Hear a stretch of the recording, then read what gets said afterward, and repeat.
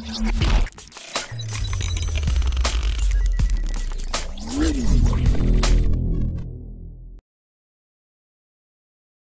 Friends sports பத்தின செய்திகளை உடனுக்குடனா தெரிஞ்சுக்கொள்ள நம்ம தமிழ் கிரிக்கெட் சேனலை சப்ஸ்கிரைப் பண்ணுங்க.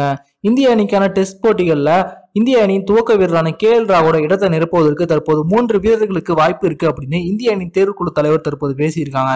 அது பத்தின முழுமையான விவரத்தை பார்ப்போம். இந்திய அணியில் ஒரு நாள் மற்றும் டி டுவெண்டி போட்டிகளில் துவக்க வீரர்களுக்கு எந்த ஒரு பிரச்சனையுமே கிடையாது. ஆனால் டெஸ்ட் போட்டிகளில் அந்த பிரச்சனை ரொம்பவே பெருசாக இருக்கு அப்படின்னே சொல்லலாம். மயங்க் அகர்வால் ஓரளவு சிறப்பான ஆட்டத்தை வெளிப்படுத்துறது ஆனால் கே எல் ராகுல் தொடர்ந்து மோசமான ஆட்டத்தை வெளிப்படுத்துகிற காரணத்தினால அவருக்கு ஒரு மாற்று வீரரை தேர்வு செய்ய வேண்டிய கட்டாயத்தில் தற்போது இந்திய அணியின் தேர்வுக்குழு இருக்காங்க.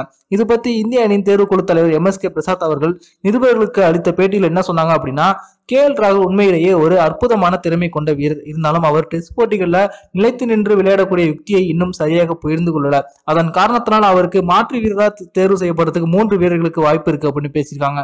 அதுல முதல்ல பாத்தீங்கன்னா இந்திய அணியின் சீனியர் வீரரான ரோஹித் சர்மா. இவர் வந்து மேற்கிந்திய தீவுகள் அணிக்கு எதிரான இரண்டு போட்டியில் கொண்ட டெஸ்ட் தொடரில் இடம் பிடிச்சிருந்த போதிலும் விளையாடும் பதினோரு பேர் கொண்ட வீரர்களில் ஒரு முறை கூட வாய்ப்பு வழங்கப்படல. இதற்கு பல்வேறு தரப்பின் எதிர்ப்பு தெரிவிச்சிருக்காங்க.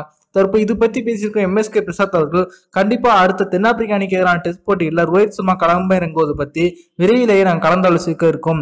விரைவிலேயே ஒரு நல்ல முடிவு கிடைக்கும் அப்படின்னு சொல்லியிருக்காங்க. அது மட்டும் இல்லாத இவங்களை தவிர மேலும் இரண்டு இளம் வீரர்களுக்கு வாய்ப்பு இருக்கு. அதுல ஒன்று பார்த்தீங்கன்னா பெங்கால் கிரிக்கெட் அணியின் கேப்டனான இருபத்தி மூணு வயதை நிரம்பிய அபிமன்யு ஈஸ்வரன் இவருடைய தந்தை தமிழகத்தை சேர்ந்தவங்க இவருடைய தாயார் பஞ்சாபை சேர்ந்தவங்க இவங்க கிரிக்கெட் விளையாடுவதற்காக கொல்கத்தா சென்று சிறப்பான ஆட்டத்தை வெளிப்படுத்தி தற்போது பெங்கால் கிரிக்கெட் வாரியத்தின் கேப்டனாகவும் இருக்காங்க.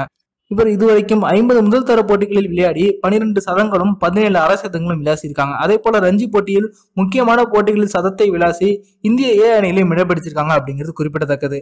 டெஸ்ட் போட்டிகளில் சிறப்பான ஆட்டத்தை வெளிப்படுத்தக்கூடிய இவர் கே எல் ராகுலோட இடத்தை நிரப்புறதுக்கு அதிகமான வாய்ப்பு இருக்கு.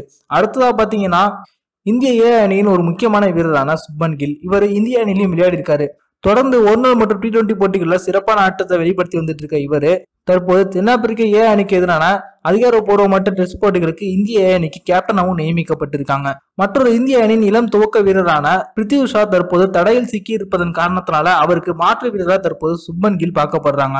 ரோஹித் சர்மா அபிமன்யு ஈஸ்வரன் சுப்மன் கில். இந்த மூன்று வீரர்கள்ல யாராவது ஒருவர் தான் இந்திய அணிக்கான டெஸ்ட் போட்டிகள்ல துவக்க வீரரா கே எல் ராகுலுக்கு பதிலாக களமிறக்கப்படுறதுக்கு அதிகமான வாய்ப்பு இருக்கு. இந்த மூன்று பேர்ல யாரை களமிறக்கினா அது இந்திய அணிக்கு சரியா இருக்கும் அப்படின்ற உங்களோட கருத்தை கீழே கமெண்ட்ல லீவ் பண்ணுங்க. இந்த வீடியோ உங்களுக்கு பிடிச்சிருந்துச்சுனா லைக் பண்ணுங்க ஷேர் பண்ணுங்க. நன்றி.